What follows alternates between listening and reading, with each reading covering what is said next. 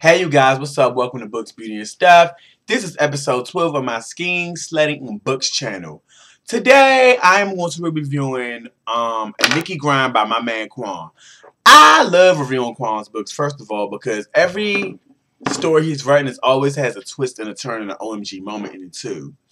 Two, he always connects his characters from previous novels to the storyline he has now. Three, um, he made me kind of fall in love with a series he has on ebook called the um a Purple City Tale. Basically, but basically his book that I would guess is between Harlem and Miami. So I kind of like this series just like I like the Hood Rat series too. Mm, excuse me, y'all. Hold on, drink my water. So let me show you what I got. Nikki Grind by K'wan.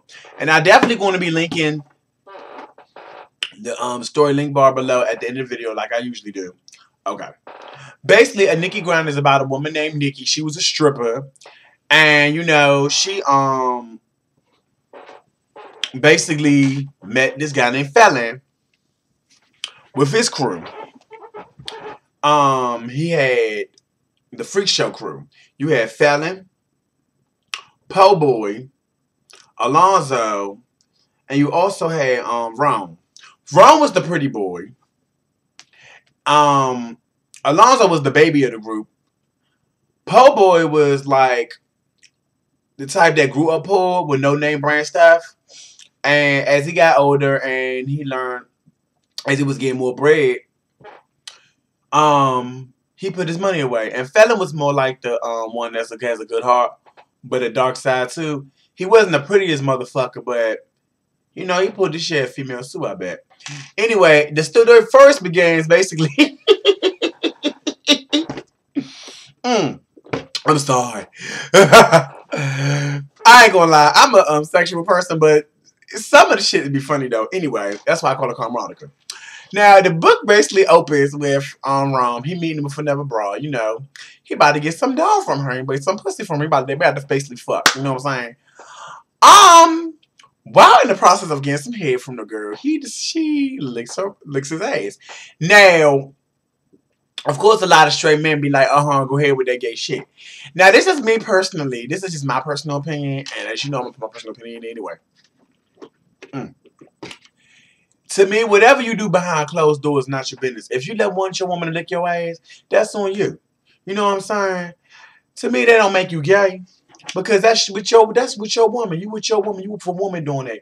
And to me, it's none of your business what y'all do behind um closed doors. And that's why I be telling motherfuckers, keep your mouth shut about what you do behind closed doors if you don't want to get clowned or you're afraid of judgment. But anyway, I'm not gonna rant on that all day. Mm. But you know, the broad got some good hair game. Me and her be friends. I want to shit. Broad got good hair game. Her pussy real fat, tight, and juicy, so she got some pussy from her, of course. Okay. Um, then later on that evening, him and his um and the freak show crew basically go to the club and they meet some more stripper hoes. They there, they dancing. Of course, they get the VIP treatment and they they going all out for these bros. So he meets the girl Nikki. Nikki is a stripper. And she kind of scandalous in her own way too, but I'm not gonna reveal the whole story. Um they meet um, they fucked the first night. You know, fell and falls in love with her. Now, this is where I want to smack Felon at. The pussy may be good, dog, but damn. Damn. You fall in love with her ass quick? Anyway, I'm going to shut up. No judgment. Mm. Um, basically, he basically meets her, um, her boyfriend Bone was like, yo, what the fuck is you doing? Basically going on Nikki. Nikki was like, Bone, I'm having a drink. Um, they about to get the record in the club and shit. Bone leaps up like he going um slump fella, but I know fella got them hands. And of course Alonzo and Popo like, yo, nigga, you got a problem on that? So basically, they got the they got a broken beard ball on the razor, ready to go at it. And I'm like, oh shit, now. And I'm just this reading. I'm just like, damn, they about to get it cracking.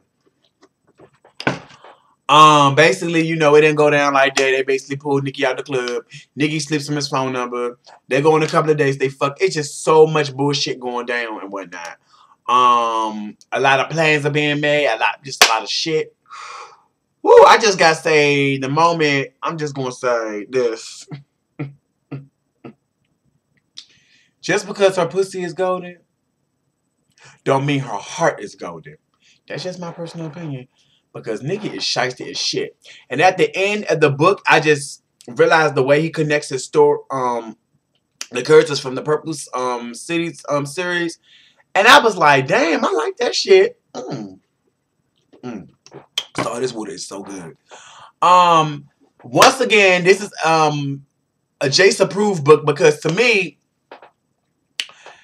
it wasn't. To me, it was more erotica than just um street. Yes, it had street in there, but it was more sexual to me. And you know, me being my freestyle likes the sexual shit, of course. But um overall I do approve I do give this book 10 out of 10 and I definitely this book is definitely Jace approved because like I said it deals with a lot with sex, money, drugs, blah blah. Anyway, um thank you guys for watching my review. I hope you guys have a wonderful new year. I know I said I wasn't going to do any reviews until after New Year, but mm, excuse me. I'm so sorry. Um, but I was like, I gotta do this review. Um, thank you, and I hope you guys have a wonderful New Year. If you're going out New Year's Eve, please, please, I pray that y'all be safe. Get a cab. If you're going to drink, spend the night, do something, just don't go out there and drive. It's dangerous. Anyway, I will talk to you guys later. Happy New Year. Bye.